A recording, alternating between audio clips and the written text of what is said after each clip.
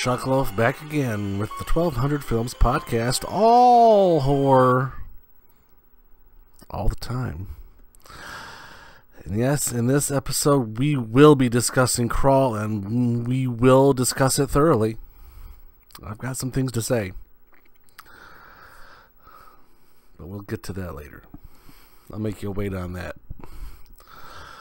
Oh boy, let's go with what we got. Um 2008 Hide.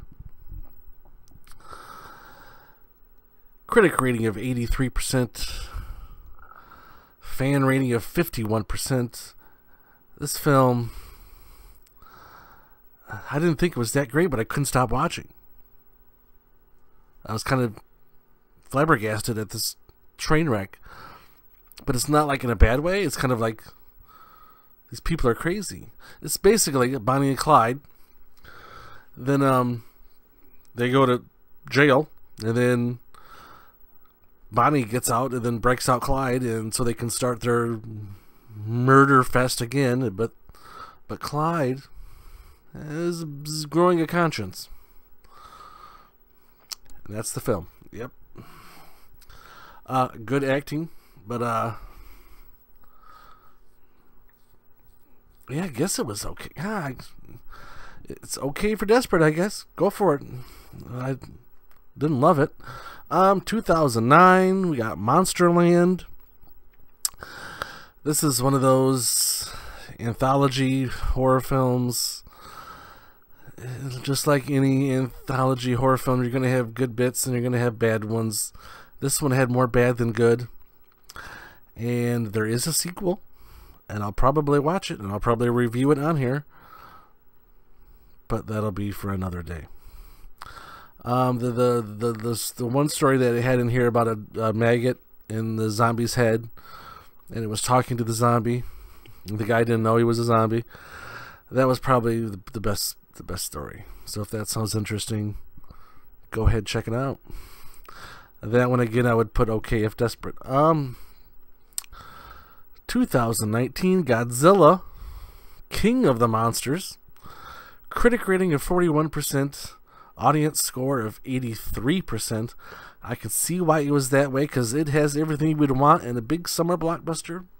Lots of big monsters, lots of big things happening. It's, you know, like a, another Jurassic Park type thing going on here. But as far as like a, a uh, plot or sensibility. Yeah, that's why the the critic score suffered. The last scene, I was not impressed with. I'm not exactly looking forward to the next one, to be honest. Seriously. But um, this is again. If you want big monsters breathing fire on each other and refusing to die, then Godzilla's for you. Another okay if desperate. 2018 Bad Times at the El Royale. Critic rating 75%, audience score of 73%. Uh, Rotten Tomatoes has this listed as a mystery suspense. What? What about all the action and violence and gore people are getting their face half blown off with buckshot. Jeff Bridges pops up in this as long as many other great little actors and actresses. Um, I think he kind of stole the show. If I had a stopwatch, I would bet money that Chris Hemsworth's abs had at least 20 minutes of screen time. No joke. 20 minutes. He was in this film a lot in the second half, and he was all pretty much with the shirt wide open. Say, hey, look at me. But, um, still, intriguing film. More than just a mystery suspense. Uh, then we got 2019 Uncanny Annie. Rotten Tomatoes does not have this listed because it's technically an episode, which is baloney. all of the Hulu Into the Dark series movies are considered by both IMDb and Rotten Tomatoes as episodes. They are full one and a half hour films that have been released sometimes in theaters. I don't get it. But um uh, Uncanny Annie IMDb gives us a 5.6 out of 10, which is about right. This uh, high schoolers are on Halloween and they're bored, so they find this board game called Uncanny Annie, and apparently it's possessed by the evil spirit of Annie, who, uh, yeah, is not nice. So they start playing this game, and the game starts making you do bad things. And if you don't do what you're told to do, then worse things happen. This was flowing okay until, again, dumb endings, dumb last scenes that stretch out too long, and it's like, oh, really? Maybe you should have made it 20 minutes less and make it an episode. It would have been better. But, um, yet another okay if desperate. Did I give a review on Bad Times at El Royale? Did I say I, I would definitely put that one on the watch list? Uncanny Annie, okay if desperate. Okay, um, our retro review is uh, Death Ship from 1980. Critic rating of 20%.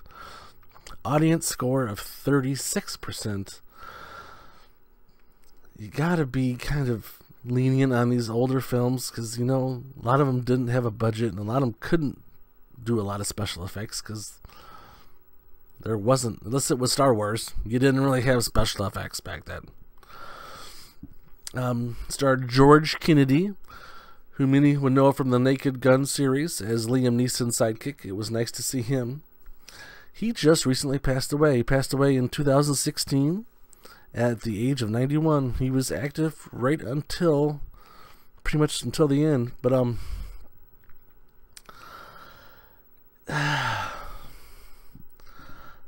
Speaking of George Kennedy, his last film apparently was with Mark Wahlberg in The Gambler. Has anyone seen this film? I know nothing about that film. Anyway, what were we talking about? Death Ship. Yeah. Okay, so this uh, luxury liner crashes or whatever, and this uh, this, this, uh, this boat, skate boat of uh, several people. They get off and are just floating around, and they come across this ship just hanging out in the middle of nowhere. So they climb aboard, and apparently it is a old Nazi ship with some uh, bad things happening on that ship. So they got some some kind of ghost issues with that, and uh, I thought it was fine for what it was, for when it was made. You know, I'd watch. I don't know. I don't know if I'd watch it again, but it was fine. Again, okay if desperate. Oh, crawl. 2019 critic rating phenomenally at 82%, audience score at 75%. You know, as I was watching this and I thought, um, for a little creature feature movie, it's okay. The basement annoyed me that they were in for a good hour of the hour and a half of the film with pipes that just block off random paths for no reason. Who has a house like this? Who has a house with a basement full of pipes that just go every which way? And apparently, a lot of people are upset about this film because apparently, Florida, there is no basements. You just can't do that in Florida. There's, don't have the foundation to make a basement. but this this house in Florida does. And it's full of pipes. And it's full of Barry Pepper being injured and having multiple limbs bitten off.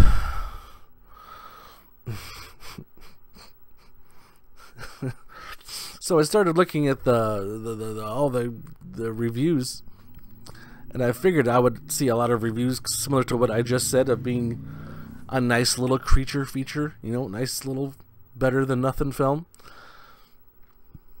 People, reputable movie reviewers, are comparing this to Jaws.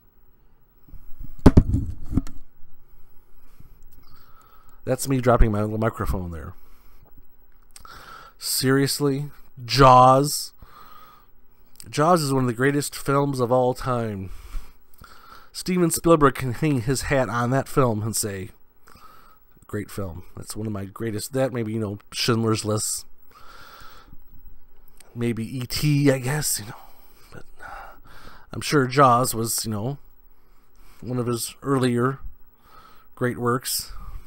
So I'm, I, but I wonder what he thinks about his film being compared to this, to Crawl. But what did annoy me is about an hour and 10 minutes in, it started getting silly. And I started thinking, oh no, this is an alligator version of Sharknado. That's what it was. But, um, if you want a good alligator crocodile movie, I recommend Lake Placid. That's a good little film. And there's, there's another lesser known crocodile movie called Primeval, based on the true story of an African crocodile named Gustav, who has taken approximately 300 people to their deaths. This thing is the size of a, of a 20 foot boat. This thing's huge, and it's it's very real. But um, this, uh, yeah, people are. If this is the Jaws of our generation, then that's pretty sad. That tells you what's the bar has been lowered so low that this is now what we have to consider our masterpieces.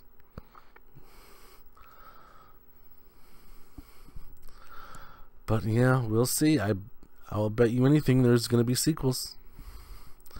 And they'll progressively have a lower and lower budget, and they'll get progressively worse. now it's time for our feature review Midsommar.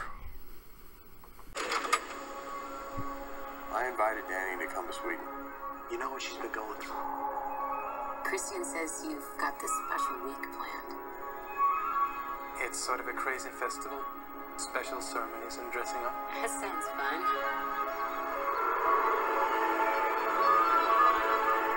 Unbelievable. Welcome and happy midsummer. Skål! What time is it? 9 p.m. That can't be right. The sky is blue. This is what 9 p.m. is like here.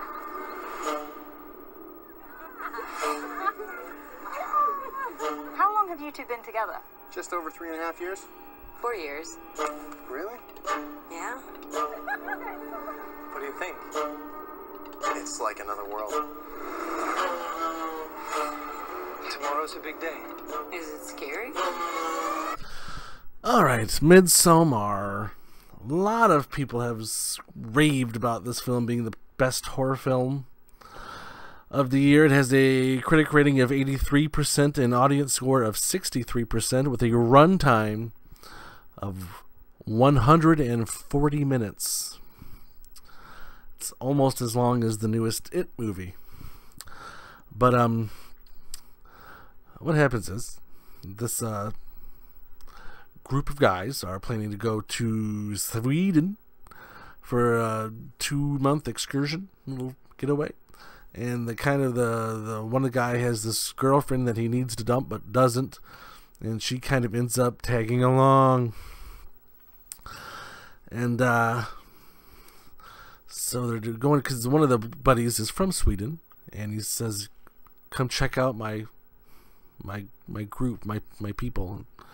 see their customs and learn their customs and you'll you'll find it interesting so they do and uh, they do have some Mighty Interesting Customs.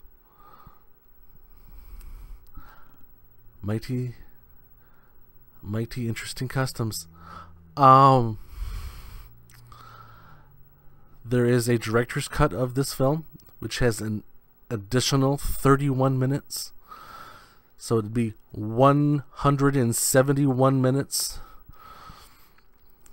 If I do watch this again, I'll probably want to watch the director's cut because there were some things that I still have questions about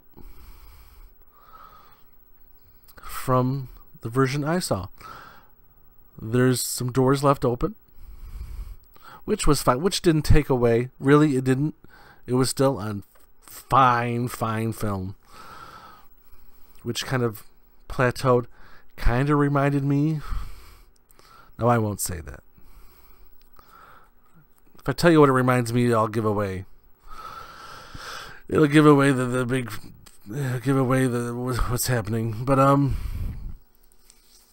it reminded me of a bad film. And This kind of made that into a better, to a good film, which doesn't make sense. But I know. That's my review for this. but um, everything was good. Uh, everything was great. I don't know what else to say about that. Good grief. But just uh, hang tough. There are some slow parts in the beginning.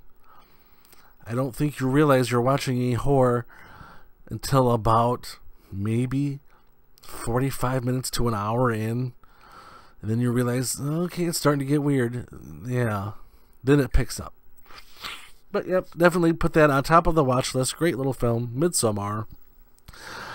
And the next one, our retro review will definitely be Horror Express, starring Christopher Lee, Peter Cushing, and Telly Savalas.